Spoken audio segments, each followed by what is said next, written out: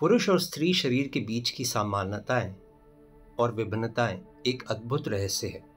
ये दोनों शरीर अनेक मायनों में समान होते हुए भी अनेक मायनों में भिन्न होते हैं। ये भिन्नता हमेशा पूरक होती है।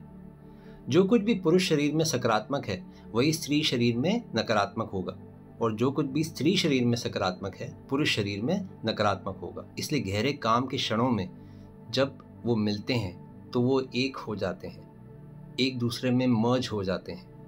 सकारात्मक, नकारात्मक से मिलता है और नकारात्मक, सकारात्मक से और दोनों एक हो जाते हैं, एक विद्युत चक्र के रूप में।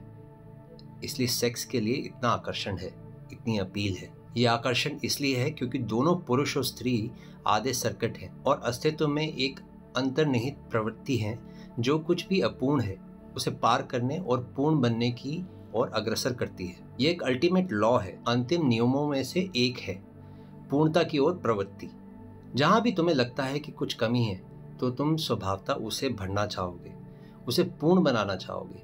प्रकृति अपूर्णता को पसंद नहीं करती। किसी भी प्रकार की अपूर्णता। पुरुष अपूर्ण है, स्त्री अपूर्ण है, और वह केवल एक क्षण की पूर्णता प्राप्त कर सकते हैं, जब उनके विद्युत सर्किट एक हो जाते हैं, जब दोनों विलीन हो जाते हैं। इसलिए सभी भाषाओं में सबसे महत्वपूर्ण शब्द है प्रेम और प्रार्थना। प्रेम में आप एक व्यक्ति के साथ एक हो जाते हैं। प्रार्थना में आप संपूर्ण ब्रह्मांड के साथ एक हो जाते हैं। धर्म का सारा प्रयास यही है कि जो तुमने वो एक क्षण उस बाहर के स्त्री और पुरुष के मिलन से जाना है, उस क्षण में ठहरा जा सकता है, जब तुम्हारे भीतर के स्त्री और पुरुष मिल जाए, जिसको हम येन एंड यांग भी कहते हैं, शिव और पार्वती भी कहते हैं।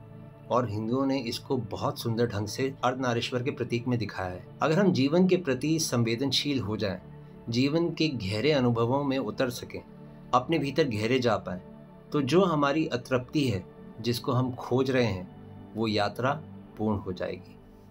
प्रणाम।